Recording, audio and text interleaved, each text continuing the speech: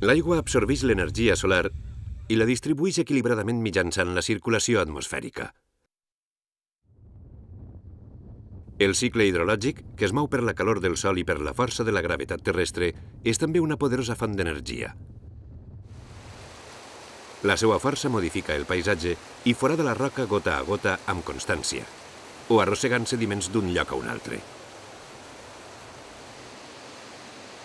L'ésser humà, en el seu afany d'aprofitar les forces de la naturalesa per a fer la vida humana més fàcil, ha utilitzat el seu enginy per a trobar en el corrent de l'aigua una energia neta i renovable i ha aconseguit servir-se d'eixa força de l'aigua al llarg dels segles.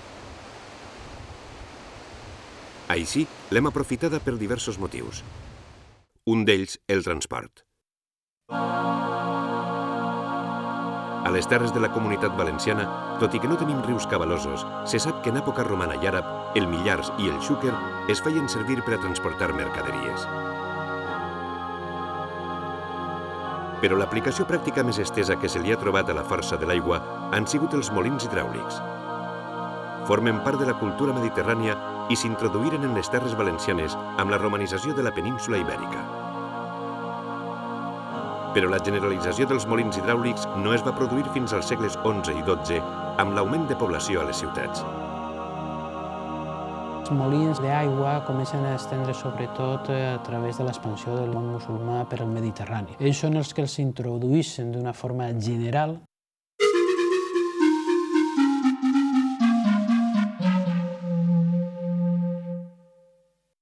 no com tal invent, sinó d'una forma usual i sobretot en el que seria l'ús dels capes populars.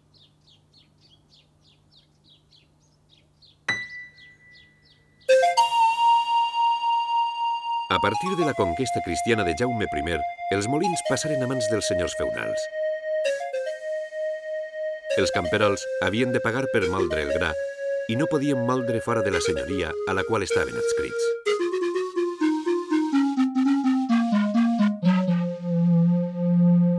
Mesura que va augmentant la demografia, en l'època baix medieval, en l'època moderna, se van acumulant cada vegada més molins d'aigua fins a finals del segle XIX. L'estació en què es molia era la tardor per l'augment del cabal de rius i per la baixada de temperatures, que evitava que la farina fermentara. El molí tenia prioritat sobre el rec en l'ús de l'aigua i això provocava friccions entre moliners i llauradors. Per tant, en un any de sequera, el que eh, un molí estiga sobre una sèquia implicava alteracions en repartir, en com usar una aigua escassa. I per això forma part de la tradició, de les llegendes, de les frases dites, etc. i aquest conflicte entre moliners i regants. El moment històric en què hi ha hagut més molins a Terres Valencianes, sempre molins hidràulics, els molins de vent són molt marginals, ha estat en el segle XIX. Calculem que pogué haver a tot el territori valencià no arribarien als 2.000 molins d'aigua. D'aixòs 2.000, eh, avui en dia quedaran en peu una quarta part aproximadament, en molt diferent estat de conservació que tinguin maquinària, maquinària tradicional, quedarà, no arribarà al 10% del total que varen existir, i que estiguen en condicions acceptables encara tant l'edifici com la maquinària, estem parlant d'unes poques desenes a tot el territori valencià.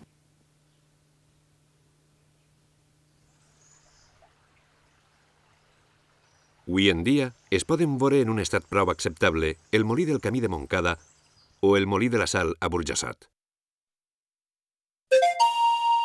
La primera forma de producció industrial valenciana va anar lligada al medi rural i va ser promoguda per l'energia hidràulica. Els molins es feien servir també per a usos industrials. Hi havia molins de paper, de ferro, batans o drapers per preparar el teixit, molins de pólvora, molins arrossers per a llevar-li la corfa a l'arròs. De fet, molts molins es transformaren en serradores a finals del segle XIX i principis del XX. Una altra forma d'utilitzar l'aigua per a generar energia és escalfant-la fins fer-la arribar a l'ebullició, per a aprofitar la força del vapor. Això va permetre que a partir del segle XVIII, amb la invenció de la màquina de vapor, s'iniciara la revolució industrial. Amb el desenvolupament de la revolució industrial, l'aplicació de la màquina de vapor va augmentar la producció tèxtil i l'extracció minera i va millorar notablement el transport, la qual cosa va fer que s'incrementaren les transaccions comercials. Prompte s'utilitzaria també per atraure aigua del subsol allà on els recursos superficials eren insuficients. Ara bé, això només se ho podien permetre els terratinents o agricultors amb un gran poder adquisitiu. Els agricultors corrents, en canvi, havien d'associar-se per a poder traure profit d'este invent. Realment els motors de vapor el que permeten és baixar a una capa freàtica molt més fonda que les nòries o les sènies tradicionals. I això és el que va ser utilitzat sobretot per a ampliar el regadiu a zones que havien estat de secà històriques. Per això els motors més antics valencians, motors de vapor, amb el seu fumeral tan típic, que moltes vegades és l'únic que queda, se troben fora del límit de les hortes d'època medieval. A mesura que la demanda d'aigua, de necessitats d'una agricultura cada vegada més comercialitzable en el 20, augment de població, anaren estirant de les necessitats d'aigua, doncs els motors també entraren en les sortes antigues per als anys de sequera. Quan, a finals del segle XIX i principis del XX, comencen a modernitzar-se l'agricultura i la indústria, fent servir altres energies com el gas o l'electricitat, els molins hidràulics comencen a abandonar els seus usos tradicionals però se li va trobar una altra utilitat a la força de l'aigua. Transmutar la força del corrent en energia elèctrica.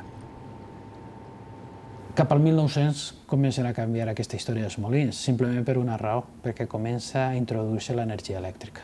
I quan una màquina pot ser moguda per energia elèctrica, no hi ha altre tipus de màquina anterior que puga sobreviure. Que encara en els anys 40 i 50 en molts pobles valencians era normal que quedara algun molí, però cada vegada era més usual la fàbrica de farina, del molí a la fàbrica. Per tant, també el canvi al final d'una època.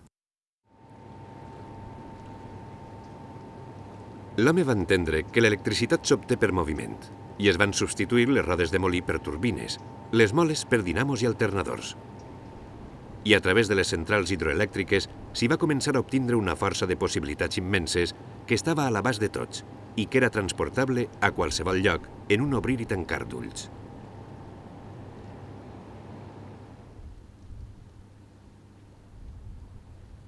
L'AUIA està en l'origen de la generació elèctrica en el nostre país, en Espanya, en la comunitat valenciana.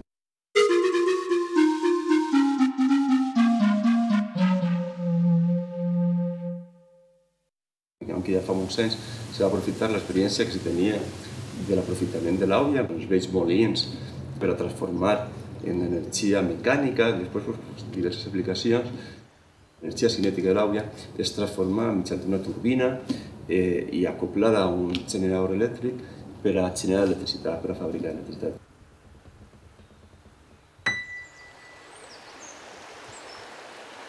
Les primeres centrals elèctriques que n'hi ha a les Terres Valencianes són alguns molins de pobles que instal·laven una xicoteta dinamo aprofitant el salt de l'aigua per a posar unes bombetes en els carrers, per exemple. Unes poques llums als carrers és una cosa prou usual entre finals del 19 i principis del 20.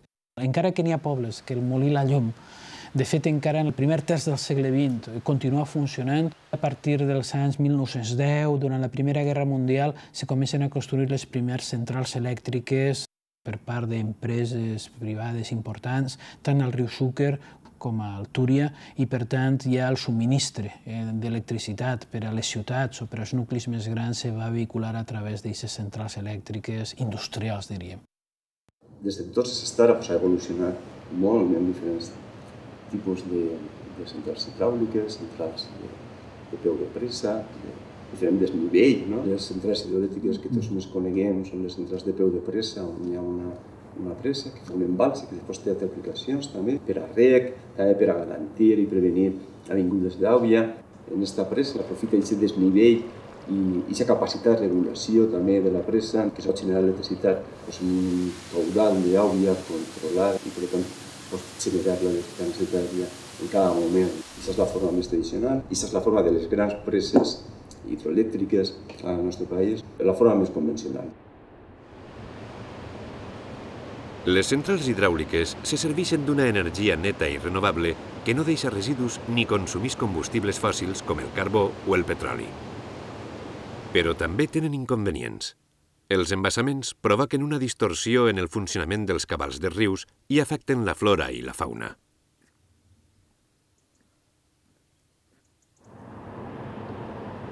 Tot i que la producció d'energia hidroelèctrica és necessària i molt important per al subministrament energètic, es necessiten altres fonts per a satisfer la demanda total. Si les centrals hidràuliques es basaven en el funcionament dels molins, les centrals nuclears es basen en el funcionament del motor de vapor. Un reactor atòmic escalfa l'aigua fins que la converteix en vapor, i eixe vapor és qui mou les turbines que generen l'electricitat. La Comunitat Valenciana tenim un complex que jo crec que és un pionero a Espanya en quant aprofitament de l'àuia des del punt de vista de la generació elèctrica. Parlat del complex de Cortes la Mona, un balsament en Cortes, de tal forma que se combina el bombeig d'àuia des de Cortes fins a la Mola en, en hores on l'electricitat és barata i, i sobra electricitat, com pot ser períodes nocturns per la nit o els fins de setmana, no? on n'hi ha un sobrant d'electricitat i és més barata l'electricitat. Això bombeig l'àvia i després en les hores de màxima demanda d'energia elèctrica l'àvia des de dalt, des del depòsit de la mola, es turbina paca cortes de tal forma que podem tindre una, una generació elèctrica molt bona, molt, molt puntera.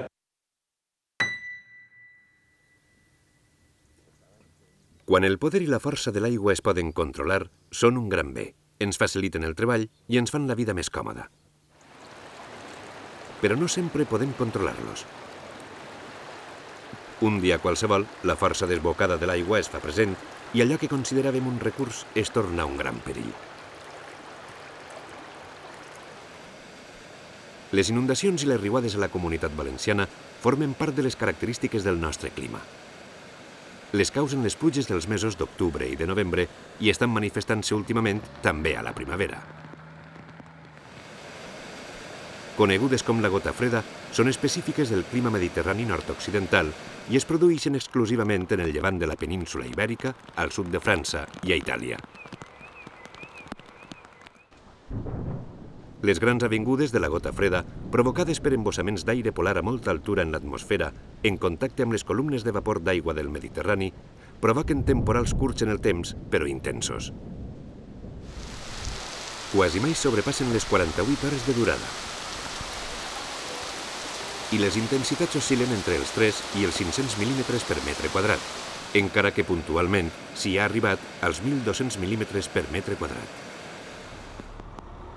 Tot i que els temporals de gota freda no actuen de manera cíclica, ja que poden passar anys sense inundacions, poden aparèixer dos anys consecutius.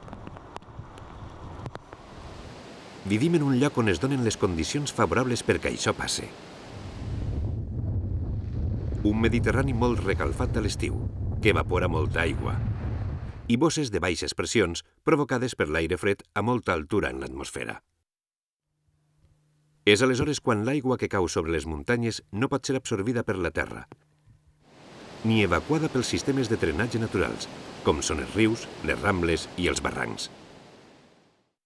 En aquests moments, les riuades poden arrasar poblacions senceres o desplaçar la desembocadura d'un riu quilòmetre i mig, com va passar amb el Xúquer al 1864. A la ciutat de València, la riuada més impressionant va ser la del 1957. El 14 d'octubre d'aquest any, la ciutat es va convertir en un llac i un corrent d'aigua de 4.500 metres cúbics per segon es van portar per davant ponts, cases i carreteres es van originar dues zones de crescuda sobre la ciutat. La primera tromba d'aigua va arrencar de Sacarrel el pont de fusta i la passarel·la de Campanar. La segona va trencar el pont de l'exposició i va fer desaparèixer el pont ferroviari de Nazaret. El barranc del Carraixet també es va desbordar i les seues aigües es van ajuntar amb les del Túria prop d'Alboraya abans d'arribar a la mar.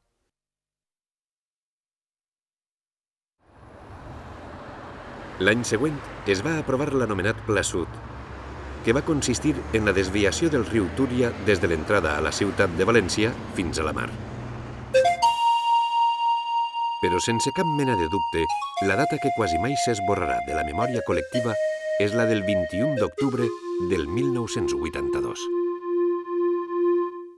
La crecida del año 82 que produjo la rotura de Tous fue de una magnitud eh, extraordinaria y eso, entre otras razones, fue debido a que la precipitación también fue extraordinaria.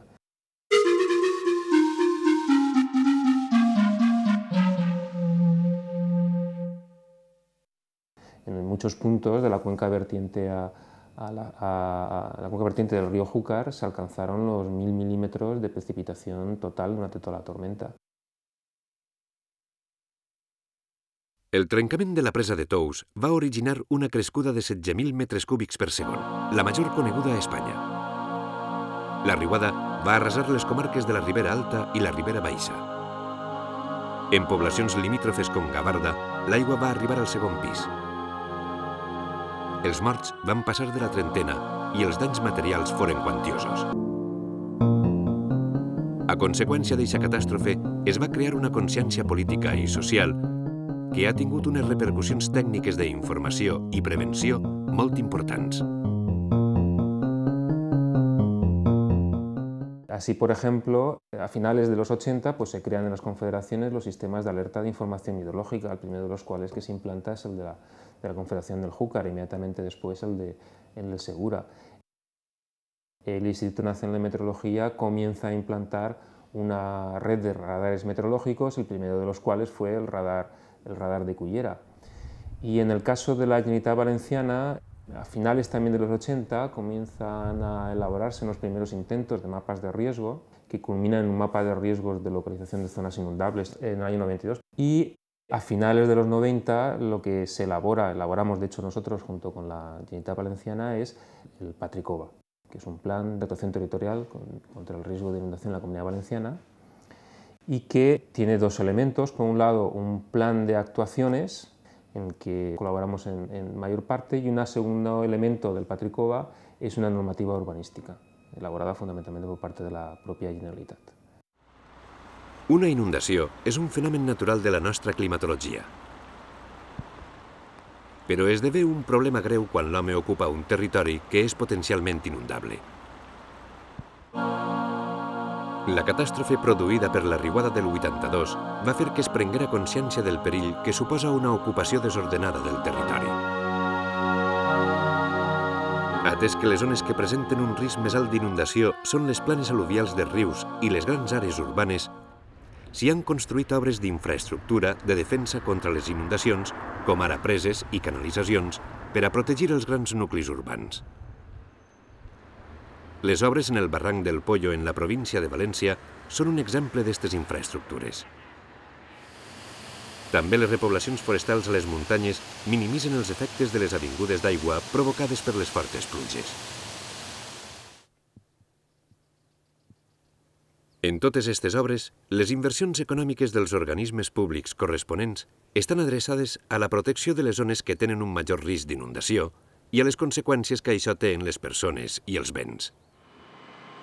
Afortunadament, ara per ara, és molt difícil trobar actuacions irresponsables, com ara la construcció d'escoles en zones de desaigüe, que abans, durant molts anys, i pel baix cost d'eixe sol, eren molt habituals. La parte correspondiente a la normativa urbanística. En la normativa urbanística es, es taxativo. Cualquier elemento que se encuentre en zona de inundación requiere un informe.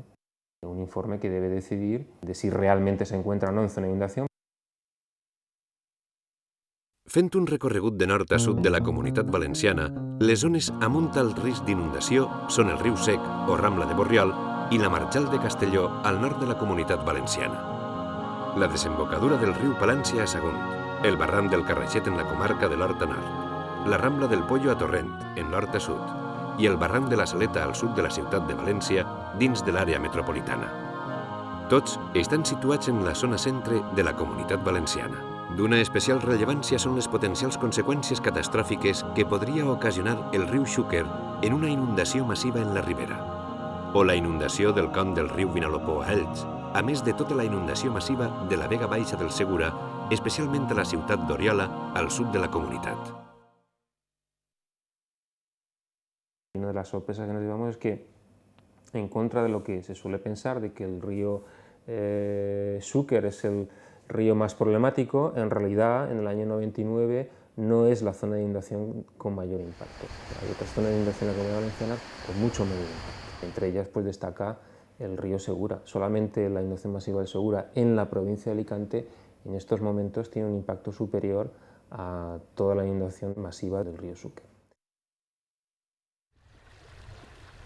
El riu Vinalopó presenta la desaparició del llit més espectacular de la comunitat valenciana. S'atura i desapareix a l'altura d'Elx.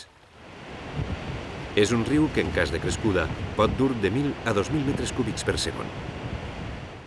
Estos cabals tan grans no tenen cap via de drenatge i inunden el seu territori totalment.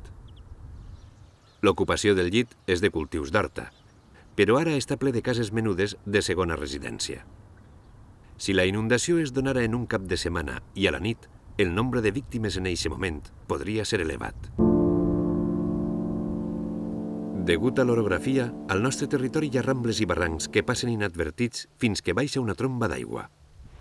Les tres quartes parts dels municipis de la comunitat valenciana presenten algun tipus de risc d'inundació. S'han identificat uns 450 punts crítics d'inundacions en tot el territori. Els estudis del terreny es fan indispensables per previndre les riuades. Básicamente hay dos tipos de medidas para la disminución del impacto de las inundaciones. Las que entran dentro de la prevención, aquellas medidas que se establecen antes de la inundación, y medidas que se establecen durante la inundación. La responsabilitat de posar en marxa els plans d'actuació recau sobre els ajuntaments i les confederacions hidrogràfiques. Ells són responsables de la neteja dels barrancs i de les cunetes de les carreteres i de la informació sobre la capacitat i evolució dels nivells de cabals de rius, rambles i barrancs. Cuando la inundación ya se va a producir o se está produciendo, una de las medidas más adecuadas es la predicción en tiempo real, es decir, saber exactamente lo que va a ocurrir con antelación suficiente. Esa predicción consta, por un lado, en primer lugar, de una predicción meteorológica, que consiste en predecir las precipitaciones en cantidad y en posición para las próximas horas, que en el caso de España es una labor que realiza el Instituto Nacional de Meteorología, el segon pas en la predicció és comparar els cabals d'aigua que han generat les pluges del passat amb la pluja actual en llocs d'interès com són els nuclis urbans. S'ha de fer per a previndre els cabals que es podrien generar actualment i saber el nivell d'inundació que podrien ocasionar per a prendre les mesures escaients. Y por último, en caso de que efectivamente la predicción sea de que se va a producir una inundación, hay que Eh, poner en marcha aquellas actuaciones que tienen sentido durante una inundación, que es el avisar a la población y, si es necesario, pues la evacuación de esa población. L'Institut Nacional de Meteorologia avisa en qualsevol època de l'any sobre la possibilitat que es produïsquen precipitacions intenses. El Centre Meteorològic Territorial de València transmet puntualment butlletins informatius sobre la intensitat, duració i extensió geogràfica de les pluges al Centre de Coordinació d'Emergències de la comunitat i este centre heu comunica als municipis afectats. Els ajuntaments tenen un pla d'emergència municipal que consisteix en establir la vigilància de l'evolució dels cabals de rius, rambles, barrancs i torrenteres